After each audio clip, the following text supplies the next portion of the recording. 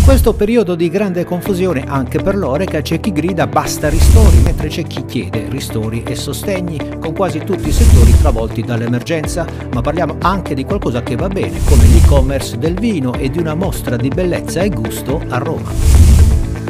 Bentrovati amici su Oreca Channel Italia, oppure benvenuti se siete per la prima volta su questo canale. Ecco le 5 news che abbiamo scelto per voi oggi, prego. Fronte Novax se la prende con tutto e tutti e ora attacca anche bar e ristoranti. L'hashtag Basta Ristori impazza sui social con commenti confusi e alcuni a dir poco demenziali. Un tutti contro tutti, i gestori contro il Green Pass che inibiscono l'accesso ai Novax e i Novax contro i gestori che chiedono il Green Pass. Prese di posizione quelle di hashtag Basta Ristori che non ha una logica alcuna se non accrescere tensioni e criticità di cui si farebbe volentieri a meno. Con 10 milioni di italiani forzati a casa, il mercato dei consumi extradomestici è ai minimi termini e torna a chiedere sostegno al governo, sollecitando in particolare la proroga degli ammortizzatori sociali scaduti a fine anno, ovvero la cassa integrazione Covid. A rischio altri 50.000 posti di lavoro solo nel settore dei pubblici esercizi. L'allarme è lanciato da FIPE Commercio e AIGRIM, Associazione delle imprese di grande ristorazione e servizi multilocalizzate. Quali comparti Oreca maggiormente penalizzati dal risalire della curva di contagio una massiccia ripresa dello smart working, i locali presenti nelle città d'arte per mancanza di turismo internazionale, le attività di catering e banqueting legate a cerimonie ed eventi e la ristorazione collettiva zoppata dal lavoro in remoto. Male anche la ristorazione commerciale in aeroporti, stazioni ferroviarie aree di servizio autostradali. Peggio di tutti, la drammatica situazione delle discoteche e dei locali di intrattenimento, ad oggi nuovamente chiusi. Un inizio di anno da incubo per l'Orica.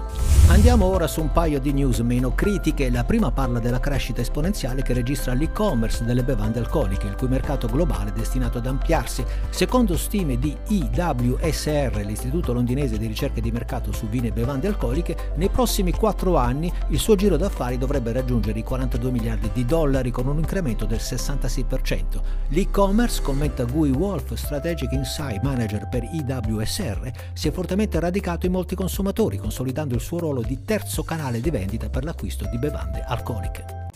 Un drink e un dolce per accompagnare al meglio la visione delle opere di Gustav Klimt, che sono da sempre fascino, magia e pura bellezza.